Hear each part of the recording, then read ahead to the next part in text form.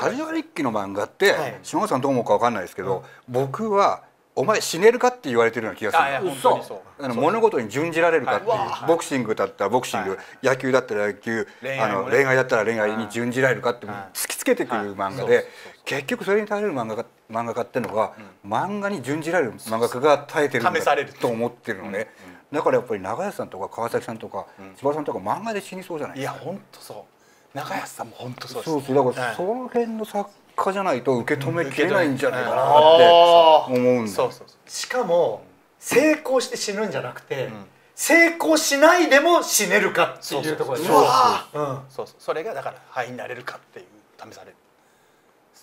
燃え尽きることできるのかっていうあの負けの精神的美か学完全にそうです、だかだからら今のね時代はちょっとこれ合わないって言われるそこだよね。はいはい準じられますかっていう、はいはい